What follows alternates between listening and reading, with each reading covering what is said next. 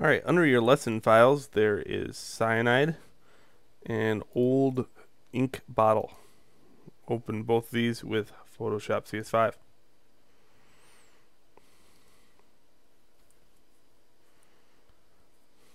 It might just open one, and you have to go back and open the other one too.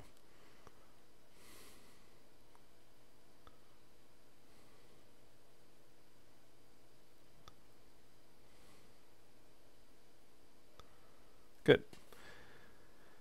Alright, so here I have this label, and here I have this old ink bottle. So we're going to put the label on the ink bottle. Okay. And to do this, first off, I want to show you warping text. So if you grab this text with the text tool, you can use the warp feature in here, arch. I'm just going to use a slight arch on this. And then I can use the move tool to move it back into position and shrink it down a little bit because warp makes it a little bit bigger. just like that. So you can see how this is made in the layers. It's just a bunch of uh, old paper layers and a little cheesy drawing of a skull and that's it. Okay, something real simple that all students can do, no doubt about it. So you can make a cyanide label if you wanted to, or you can use mine.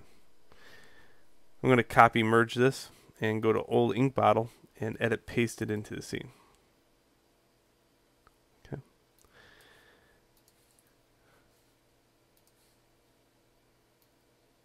And then what I want to do here is kind of shrink this into the area a little bit so it fits on the jar bottle and I'm going to mess around with the exposure ratio because this exposure doesn't match this exposure and what I'm doing here is looking at my navigator to kind of judge that. It's better to judge the thumbnail.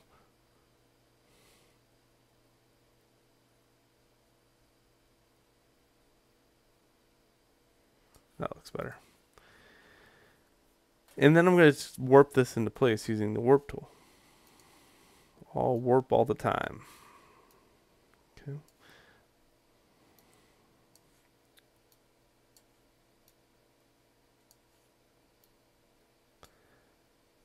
and I can closely match that angle right there on the jar just by following the contour around.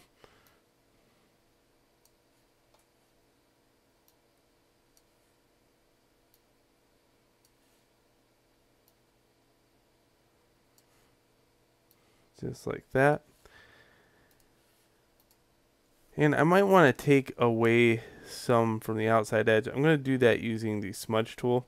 So what I want to do here is just take this and smudge it in some every once in a while. Make it like it has a few dents in the paper. Like it's been tried to peel off before.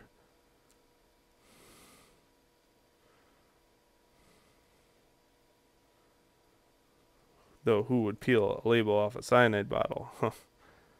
That's just rude. Okay, there we go.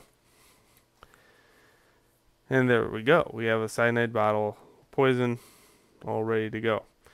Um, another thing that you should kind of look at is the bottle. It's very bright and happy. So you might want to tone that down. And you can use the same exposure trick if you wanted to. Exposure knocks the light out.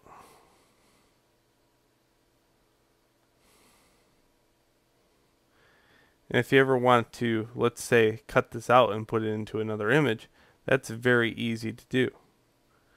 Uh, you could use several tools, but since it's a hard organic or non-organic surface, what I would probably do is go around the outside edge with the pen tool. And you're just clicking and dragging, clicking and dragging. Just like that. And you can do this pretty fast. I'm going to just do this really quick because of the video try to keep these under 10 minutes.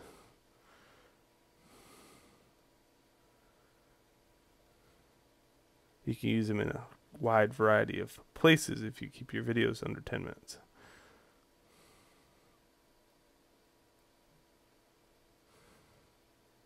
Keeps you from babbling too.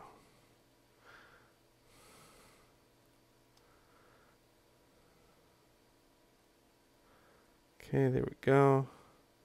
Put that curve up. Go all the way around the outside edge.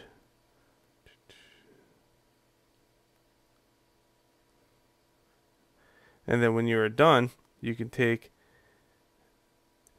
and double click this to unlock it.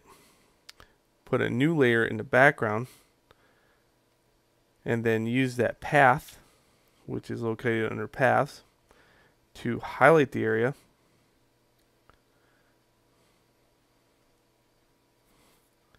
So here's your path. I can use this to highlight the area, select inverse it, and delete it. Okay, now you got a transparent bottle that you can put anywhere in a scene. If you save it as a ping, uh, you'll always have that transparency and you can put it on the internet too on certain places. So there's a ping file in here right there. And that'll save the transparency. So it works on like MySpace and places like that. All right enjoy and on to the next lesson